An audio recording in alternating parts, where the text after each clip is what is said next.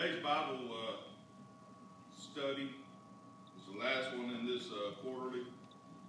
Uh, and it's called The Destiny of the Church. Um, again, I struggle some with the titles to these uh, because reading the scriptures, I don't per se read the destiny of the church. Uh, the destiny of the church is to be witnesses. And what we'll talk about here is how um, you become maybe a member of the church, how membership of the church was reconciled, and the benefits from that. But us as our destiny on this earth is to be lights to a lost and dying world. To be like the Good Samaritan. To be Christ-like. And they were first called Christians at Antioch because they were Christ-like. Amen. If you go to a church that teaches you to be anything other than Christ-like, I would suggest finding another church. Amen. If you go to a church that puts emphasis on man and being like a certain individual, I would suggest you've gone to a club or an organization for people to feel good about themselves. I will say as Christians, the closer you get to Christ, the more vile you will really see yourself as. You don't see yourself more holy the closer you get to the light. The closer you get to the light, the more you'll see the discrepancies in your own life. Amen. And the more you'll understand the dire necessity you have of what we're getting ready to talk about.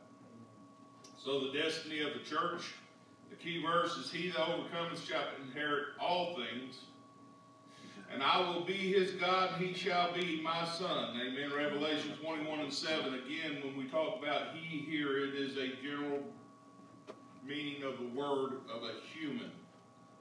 Uh, all my life growing up, Brother Mitchell going through school, he was a generic um, word that was used for mankind. It was not used to be derogatory toward women. Uh, but society today has tried to make it that way. This is not being gender specific. This is very much meaning mankind. All of us. He, all of us, any one of us that overcomes. Amen. Shall inherit all things, and I will be his God, and he shall be my son. Uh, pertinent principles, if your destination is heaven, I think this is pretty good. Uh, Brother Mitchell talked about Sister Kathy liking to look at paper maps, I think it was. Um, but if your destination is heaven, take time to study the route to get there.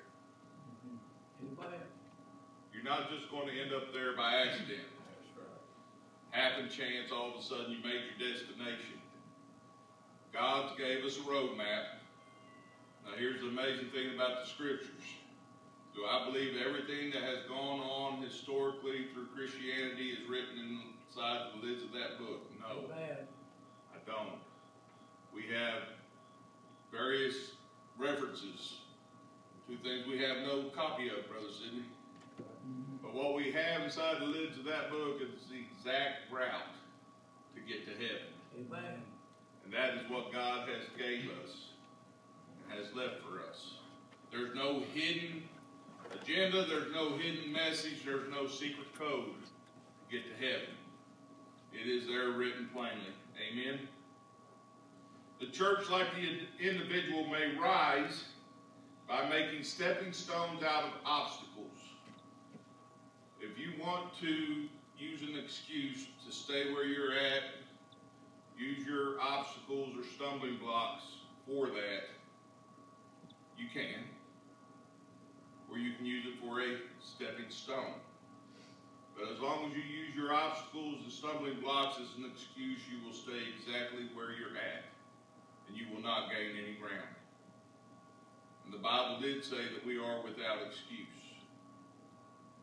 And it does talk about stumbling blocks there. Amen. God wants us to be victors, not victims, to soar, not to sink, to overcome, not to be overwhelmed. That does not mean there won't be times you won't be overwhelmed because you will.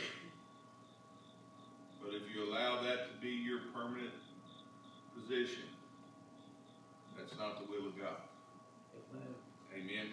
So, reading today's Ephesians chapter 2, verses 8 through 22. And it says, the first part here is verses 8 through 10, saved through faith. It says, For by grace are you saved through faith, and that not of yourselves, it is the gift of God, not of works, lest any man should boast. For we are his workmanship created in Christ Jesus unto good works, which God hath before ordained that we should walk in them. So saved through faith. Um, I appreciate this verse a lot, and there's a, there's a very specific reason I do because it describes salvation is a gift from God. Amen. And if we're not careful, we have skewed that to be a uh, receipt for what we do. And it is not. You will not gain heaven by your works and your good works. You can die a good moral person and go to hell. Amen. You can die in your morality. You can pay every bill you have, never tell a lie. Don't take anything that's not yours, and you will die and go to hell. If the blood has not been applied, you cannot go to that city. That is true, that is factual. Amen. So by grace are you saved. Grace here is the divine influence upon the heart and its reflection in life. And it says, through faith, faith is a persuasion that is moral conviction, especially reliance upon Christ for salvation. And it is the gift of God, it is a present, but it's specifically a sacrifice, a sacrificial gift. What I think is amazing about this, it says, by grace are you saved through faith. I think of like electricity. Electricity is an amazing power. We all like it, and we like the benefits from it. But none of us use electricity in its raw form. It cannot come to us except for it come to us through a conduit, a means of travel. For grace, you're saved through faith. You can talk grace all you want, but if you don't have the faith for that grace, it will not come to you. Amen. You have to have faith that that grace is sufficient to save you. Amen. And when you have that type of faith, we'll go into the next verse here in a moment. You will understand by grace are you saved through faith that it is unmerited that you're saved. Amen. It is not of your own volition or doing. Amen. And ninth verse said, not of works, lest any man should boast. Works here is an effort or occupation, an act, a deed of doing labor or work. I work for a living. And when I work for a living, I want a paycheck. And I tell them like this, I'm as devoted to my job as long as my paycheck cashes. As soon as they quit giving me a paycheck that'll cash, I no longer work for them. Why is that? Because I'm working out my employment for money. That's my expectation. And that's how a lot of people will look at salvation. Mm-hmm. I'm working out my salvation, so I'm owed. No, you're given Amen. salvation, not of your works. Now, Now here's where we also get in trouble. We'll say, okay, then we don't have to have works. You're wrong. You're wrong. Amen. You have to have works. Absolutely. You'll say the Bible's confusing. No, it's not. Your works will not gain you heaven. Only Christ. But when you accept Christ, you are saved. Well, let me back up. It said, not that any man should boast. To boast here means to vaunt, to glory, to joy, to rejoice. And I thought here this was when the Pharisees would say, I fast often. How many times a week? I don't remember. Twice, maybe. Three times. Could have been five times. I just don't remember. But I give tithes and I do this and that. See, that's a boast. That's saying I've earned my salvation. Amen. Now let me take it to our world. I wear long sleeves all the time. Bless your heart. Bless your heart. Dress decent. Dress decent. Because if you're counting on your long sleeves taking you to heaven, going to die sweaty. Amen. You're going to die sweaty. You're going to die hot. So dress decent. But if you start trying to teach me a salvation compared to my dress like that, I don't want it. Amen. But if you want to talk to me about getting saved and at that point I want to look right, I want it. Absolutely. Does that make sense what I'm saying? I hope it does. Why is that? Because I really, I do care what you do. But don't come to me telling me how saved you are by the stuff you don't do. I don't want to hear it. I want to hear how you're saved by the grace of God Amen. and how you acknowledged one day that you were lost and undone, and that you needed Him. Because if it was of works, Brother Mitchell, we would say one day I was lost and undone, and I realized that, so I changed my works, what I was doing. Now I'm okay. Still got lost. Amen. It says, For we are His workmanship. Workmanship is a product that is fabric or a thing that is made created in Christ Jesus. Created means to fabricate something. Amen. Um, but it says, created unto good works. Good is a benefit or beneficial. Works is the same thing now, but it's a beneficial work. It's not a self work, it is a work of action because of an event. Amen. And it says here, which God hath before ordained that we should walk in them.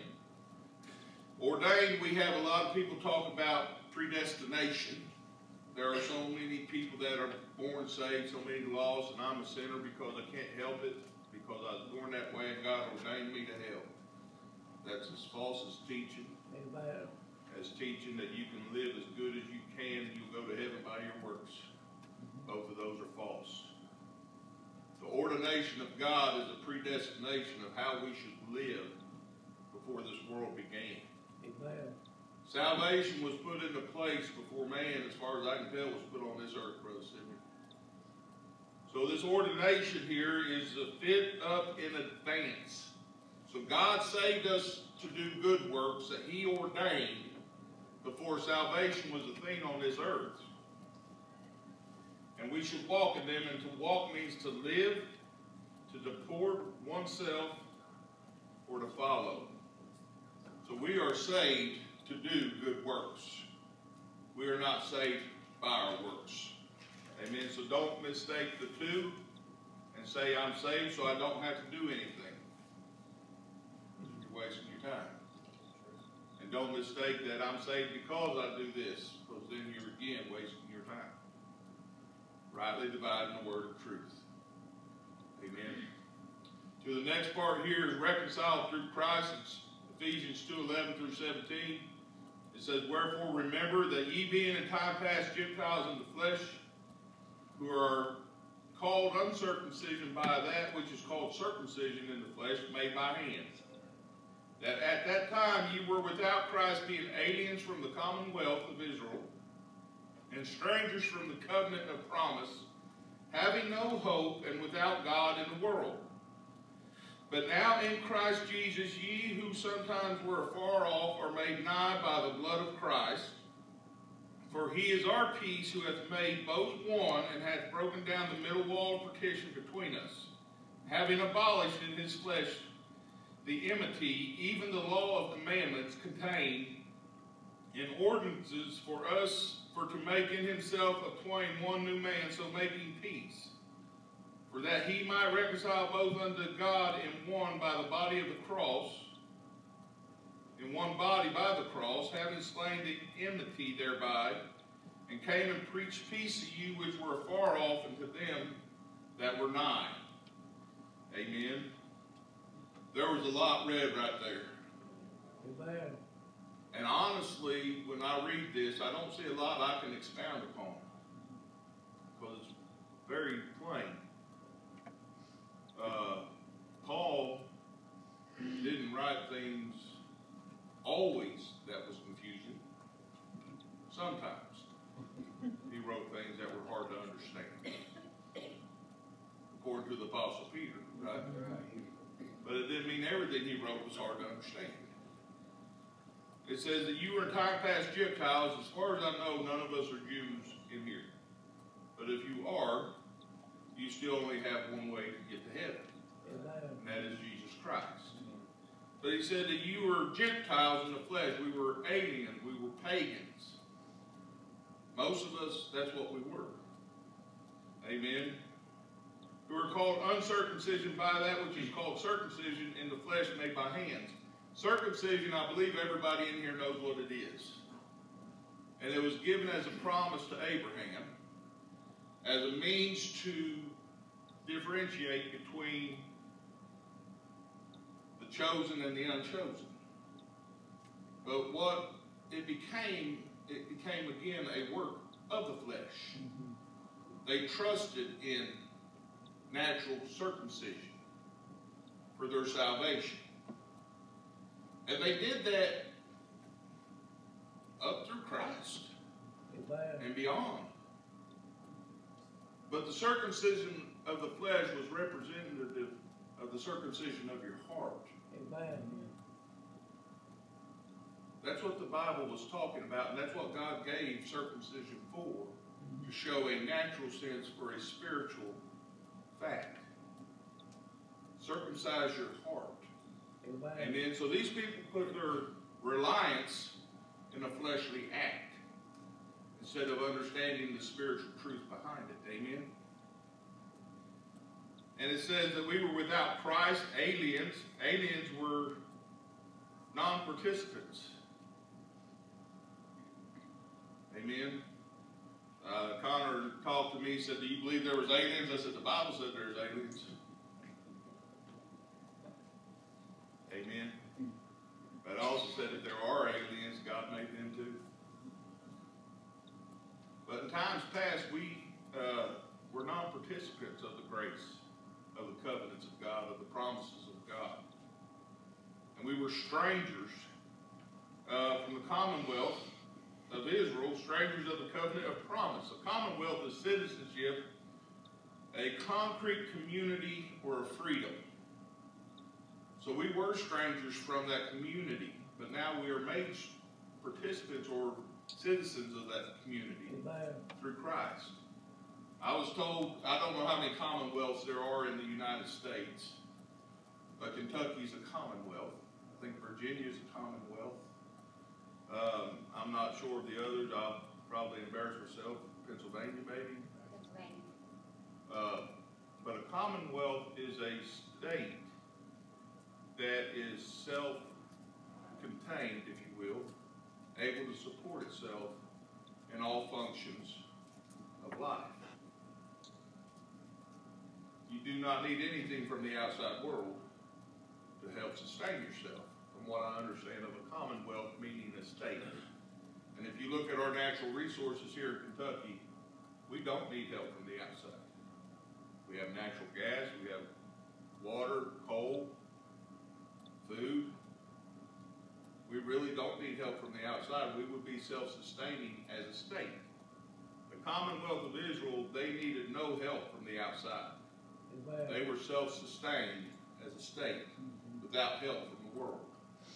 So we were aliens from that, but now we're citizens of that. Amen. Amen. Because it says, but now in Christ Jesus, ye who sometimes were far off are made nigh by the blood of Christ. For he is our peace who hath made both one and hath broken down the middle wall of partition between us. I want to say here that the people who teach that the blood of Christ is a common profane thing. I really struggle. The blood of Christ, again, is what you're saved by. Amen. It is not the per se step to get to salvation. It is the step of salvation. Amen. And without the blood of Christ, you are not. There's no shedding of blood, there's no remission of sin. Amen. So the blood, to me, is the most vital thing because it was what's covered our sins Amen. before a holy God. that He won't see us in our works, but He'll see Christ in His works. Amen. And He's broken down the middle wall of partition. Broken down means to lose, to break, to destroy, or dissolve. And Brother Sidney talked about Ronald Reagan talking to Gorbachev, saying, Gorbachev, tear down this wall. You see, they put a wall up there in Germany, and pretty much every one of us grew up with East and West Germany. But they put that wall up there as a division. But that wall got broke down, and unity was made. Amen. Same way in this. That wall has been broke down, and unity has been made. Amen. Having abolished in his flesh the enmity, abolishes to render entirely useless. I think that's amazing. To render entirely useless. You know what I find amazing? Is how the Holiness Church will go back into the Old Testament and hold things strict as law. And they'll take other things from the Old Testament and hold it strict against it. I'm like, how do you, how do you divide it? Help me understand your stance on what you determine is right. But right here it said he rendered it totally useless. Well, that ain't popular. I know it, but it's still Bible. It's not popular, but it is Bible. Amen. But he abolished in his flesh the enmity, and that's the opposition. Amen. The hatred and hostility. Even the law of commandments contained in ordinances for to make himself a twain one new man, so making peace. And that he might reconcile both unto God in one body by the cross, having slain the enmity thereby. He came and preached peace to you which were far off, and them that, them that were nigh. And I want to back up here. It says, the 16th verse, it says that he might reconcile. He cannot force you saved. Amen. You can die lost. You can walk away from this. He cannot force you to heaven. You have to want to go. Amen. He paid the price for you to go. He paid the price for me to go. But he will not force you to get there. You have to want to go. Amen. And then the last part here, it's the foundation of victory, Ephesians 2, 18 through 22. For through him we have but we both have access by one Spirit unto the Father. Now therefore ye are no more strangers and foreigners, but fellow citizens with the saints and the, of the household of God, and are built upon the foundation of the apostles and prophets, Jesus Christ himself being the chief cornerstone, in whom all the building fitly framed together groweth unto a holy temple in the Lord, in whom ye also are builded together for a habitation of God through the Spirit. And I, I put here, I didn't break this down a lot, I just reading that, and I thought about, again, aliens or immigrants, right? I don't think all of us here are pure-blooded Indian, Native American, or the indigenous people of this country. I have it in my family, and no doubt the majority of you have it in yours. That does not make you a pure-blooded indigenous individual Amen. from North America. Right? The vast majority of us have European in us.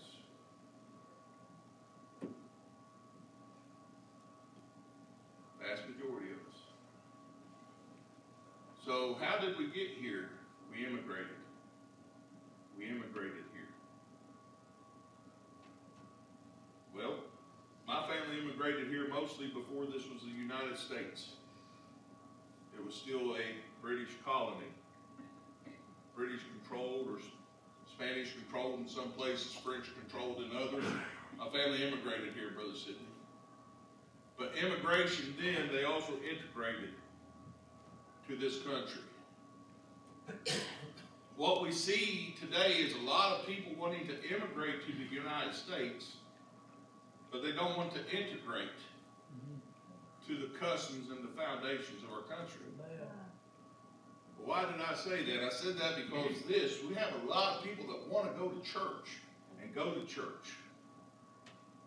They immigrate to church, but they don't integrate to the laws of God. They want to live how they want to live. They want patted on the back and told they're doing a great job. I'm glad to see you this Sunday. Amen. We'll see you again Wednesday or Sunday. Good job. Thank you. You look nice. And that's what they want. And they want to be told, do whatever you want. Do whatever you want. Just come to church. I'm going to tell you, you can't do that. Amen. Come to church, but you got to change. You want to be a Christian, you got to change. You can't be a Christian and not change. I've read all this. Christ didn't pay the price for you to claim to be a Christian, or me. It don't matter. Or anyone in here, or anyone that will listen to this. It's being recorded. Anybody. To live how we want, Brother Sidney. Uh, he didn't do that. He didn't break down the middle wall of partition for us to continue living however we want. Amen. Uh, he didn't do that. He said here, we have access by one Spirit, not multiple. Amen. And he says we're no more strangers and foreigners, but we're fellow citizens with the saints. You know where I work at, you cannot get in that place. Nelson worked there for a while. I could tell every one of y'all come with me to work, and I'm the only one that can get through that gate. It is a foreign trade zone. Y'all want to come through, you got to go through security and pass the checks. I can tell you to come, but for you to walk in where I work at, you have to abide by their rules, be adherent to their policies, and be accepted by giving access. You'll say, well, that's just a job. You're right, it's just a job. A menial job. Why would we reflect? Brother Tom knows what I'm talking about as well. Why would we reflect upon eternity to be something different? That we think we can get there any which way we want to go. If I can't even walk into my job, place that I work of employment, Brother Sidney, without adhering to their policy. It's amazing how we do that. It says, We are built upon the foundation of the apostles and prophets, Jesus Christ himself being the chief cornerstone. I want to say here, uh, I believe in prophecy a million percent. I really do. But I'm also the mindset of Brother Clarence Root. And Brother Sidney, Sister Ezra, y'all knew Brother Clarence. I knew Brother Clarence, Brother Mitchell. Brother Clarence was very no nonsense kind of guy. Very no nonsense. He didn't, he wasn't very fluffy at all. He said, somebody comes and tells me and says, the Lord said he'll be with you. He said, he already told me that mm-hmm. in his word. He told me he'd go with me all the way to the end of the world. Don't come and try to prophesy that to me. Amen. Like it's something new is what he was getting at. He's already told me that. The Spirit of God can tell you the future, can tell you the present, and can reveal it to you. And be very specific. And I believe in prophecy 100%. But if prophecy does not line up to the Word of God, Amen. it is not prophecy, except for of an individual. Mm-hmm. Amen. And if salvation is built on anything else but Jesus Christ being the chief cornerstone, Amen. and if you notice, the apostles didn't change off that, did they? Really, we had no trouble there with the apostles. Maybe some inward issues. But changing the foundation of salvation, you don't see it Amen. until you started seeing the apostles die off. Mm-hmm. And when the apostles died off, and the generations that were next to the apostles died off, that were witnesses firsthand to Christ and to the teachings of those who were first-hand witnesses of Christ, you start seeing a change in the foundation of salvation. It's the same thing that happened in the book of Joshua. The generation that followed, they adhered. The generation that was alive and seen it, they adhered. But when they got further away, Brother Sidney, at the end of the book of Judges, it said every man did that which was right in his own eyes. Amen. And we have moved so far away from the initial foundation of salvation. We're living in 2024. And you can, in your own eyes, say, Well, I believe this. And I'm going to live this way. Amen. It does not change the foundation. The foundation is the same. Absolutely. So the destiny of the church is to be light unto this lost and dying world. Our destiny is to adhere to His Word. Amen. I want to go to heaven. Absolutely. Do I take it as serious as I should? I don't think so. I don't think so. But I want to go.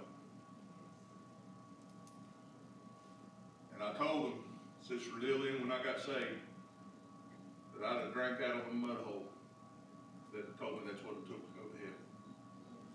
Because I got peace. That's how willing I was to be adherent to grace. How willing are we today? How willing am I today? Would I still drink out of a mud hole, Brother Sidney? Might say, well, I've learned a few things since then. I may not. It'll be worth everything to hear him say, well done. Amen. We've got two places to go. And I will go to one of the two. I know that. Now I either have eternity be at peace, or I'll have eternity think about what I missed. Amen. It's scary. It's reassuring, but scary.